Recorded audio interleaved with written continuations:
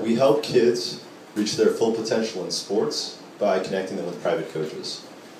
So if you can envision a platform, which we're going to get into in a bit, in which you can search by city and sport and sort through the resulting private coaches in your area by the criteria that matters to you, and we help connect you.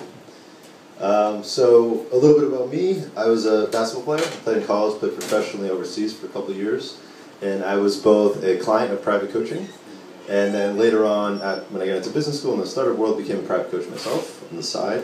It was a way for me to make extra money, stay involved in the sport I, that I loved, and give back to kids in my area. So um, I, I, I founded CoachUp because I realized there's real pain on both sides of the private coaching marketplace.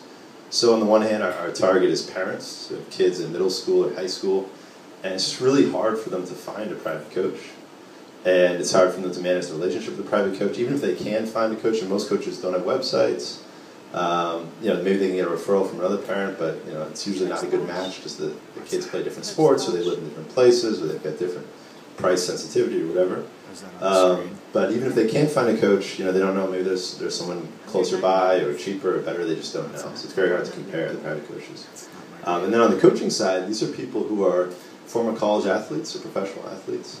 Um, they're maybe current high school coaches or assistant college coaches. Maybe they're doing something else outside of sports, but especially in this economy, they want to give back. They want to make a little extra money.